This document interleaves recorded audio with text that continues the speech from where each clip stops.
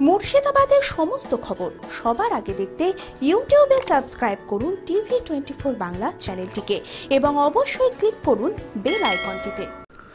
আজ খুশির ঈদ। একদিকে লকডাউন আর একদিকে ঘূর্ণিঝড় আমফানের বিষাদে এবছর ঈদের আনন্দ অনেকটাই আলাদা। বাইরে যাওয়ার বিধিনিষেধ, ঘরে বসে চলছে ঈদ উৎসব। সোমবার সরকারি নিয়ম, রীতি মেনে নিজের বাড়িতে ঈদ পালন করলেন রাজ্যের শ্রম প্রতিমন্ত্রী জাকির হোসেন। এদিন সকালে জাকির হোসেন নিজের বাড়িতে নামাজ পাঠ করলেন তার পরিবারের সঙ্গে। করোনা ভাইরাস নিয়ে অযথা আতঙ্কিত হবেন না ও গুজব ছড়াবেন না। বাড়িতে থাকুন, সুস্থ থাকুন। পারিবারিক বস্ত্র প্রতিষ্ঠান তনুজাস দ্বারা জনস্বার্থে প্রচারিত। করোনা আতঙ্কের জেরে সরকারি নিয়ম, নীতি ও প্রশাসনের নির্দেশ মেনে নিজের বাড়িতে থেকেই ঈদ পালন করলেন রাজ্য শ্রম প্রতিমন্ত্রী জাকির হোসেন। সোমবার সকালে জাকির হোসেন নিজের বাড়িতেই নামাজ পাঠ করেন। এদিন মন্ত্রী বাড়িতেই তার পরিবার এবং বন্ধুদের সঙ্গে নিয়ে সামাজিক দূরত্ব বজায় রেখে ও মুখে মাস্ক পরে প্রত্যেককে প্রার্থনা করেন। সরকারি নির্দেশ অনুযায়ী লকডাউনকে মান্যতা দিয়ে মসজিদে গিয়ে আজ নামাজ পাঠ করা থেকে বিরত থাকেন। তারা নিজের গৃহে সমস্ত রকম নিয়ম মেনে আল্লাহ আল্লাহর উপাসনা করলেন। দেখেন, এটা আমাকে খুব দুঃখজনক। কারণ আমরা যখনই পড়েছি, হাজার হাজার মানুষ, একবার নয়, দুবারে নামাজ হয়েছে। কিন্তু আমরাকে একটা মাথায় রাখতে হবে, এটা মহামারী চলছে। এই কারণে সকলকে আমরা দুঃখের সাঁতেও যে আজ নামাজ হলো, আমরা খুব অল্প মানুষের ডিস্টেন্স মেনটেন করে নামাজ পড়লাম। তাতেও আমাকে আনন্দ লাগছে। কিন্তু আমি সকলকে বলেছিলাম যে আবেদন করেছিলাম সকল মিলে বাড়িতে পড়েছে, সকলেই বাড়িতে পড়েছে। আজকে দিন, খুশির দিন। কিন্তু সেটা আমাদেরকে মনে হচ্ছে না। কারণ হলো যে আজকে যে মহামারী, দেশের আইনকে আমরা প্রাধান্য দিই বা দেশের আইনকে আমরা দেশ সেবক, দেশকে ভালোবাসি। তাই দেশ যেটা আইন যেটা বলবে, সেটা আমাকে মাথা ব্যথা নিতে হবে। সকলে আমরা চেষ্টা করেছি যে সেই ডিস্ট্যান্সটা মেনটেন করে বা বাড়িতে বাড়িতে পড়া। পাঁচজন, দশজন, আপনারা দেখলেন। আমি কোনো বিশ জন নিয়ে নামাজ পড়লাম কারণ হলো যে আমি রোগটা করি নয়।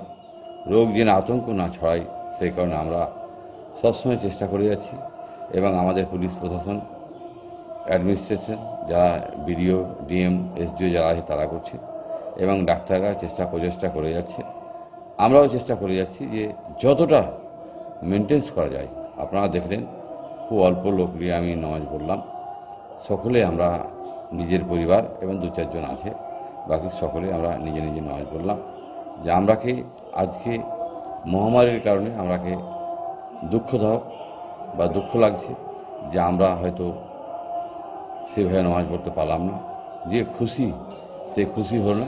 কিন্তু তাতেও আমরা এতে আমরা চাই সকলে ঈদের শুভেচ্ছা সকলকে সকল ঈদের জন্য ভালো থাকে আতঙ্কিত হবেন না লকডাউনে ঘরে থাকুন। আপনাদের পাশে Shivam education and social welfare trust. এই করোনার যদি আমাদের মোকাবিলা করতে হয় আগামী দিনে আমরা যদি সুস্থ সবল থাকতে চাই এবং গোটা ভারতবর্ষকে তথা পশ্চিমবাংলা মুর্শিদাবাদের বাসীকে নিরাপদে রাখতে চাই তবে আমাদের এখন একটাই রাস্তা আমাদের ঘরে থাকতে হবে। এবং ঘরের ভেতরেই থাকতে হবে। একদিকে করোনার আতঙ্ক, অন্যদিকে গরিব মানুষের খেতে না পাওয়ার একটা বিশাল সংখ্যক মানুষ খেতে পাচ্ছে না। তো সেই সব দিকে দাঁড়িয়ে আমরা শিবাবাড়ি সোশ্যাল ওয়েলফেয়ার টাস্ক সাধারণ গরিব মানুষের সাথে থাকবে।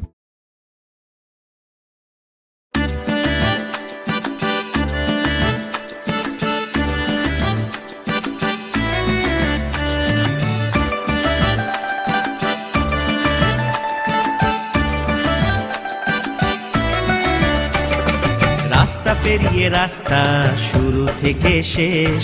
ঘুরছি, দেখো আমরা, সব পেয়েছি দেশ। বলো, রাস্তা পেরিয়ে রাস্তা শুরু থেকে শেষ। ঘুরছি, দেখো আমরা, সব পেয়েছি দেশ। সবুজ ঘেরা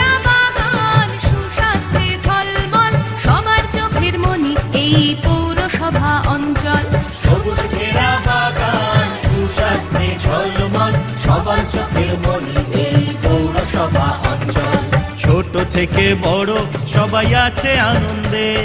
সম্মান ও ভালোবাসার নিত্য নতুন ছন্দে। ছোট থেকে বড় সবাই আছে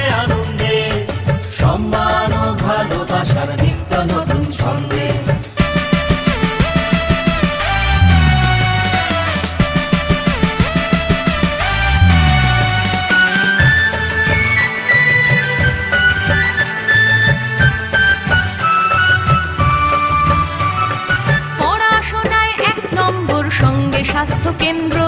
রয়েছে সবজি বাজার টাটকা খাওয়ার জন্য।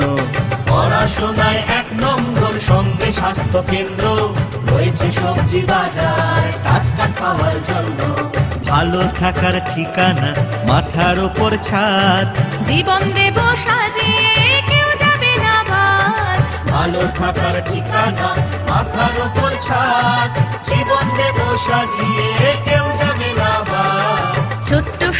বেলডাঙা গর্বে ভরে বুক।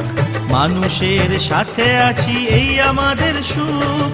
ছোট্ট শহর বেলডাঙা গর্বে ভরে বুক। মানুষের সাথে আছি এই আমাদের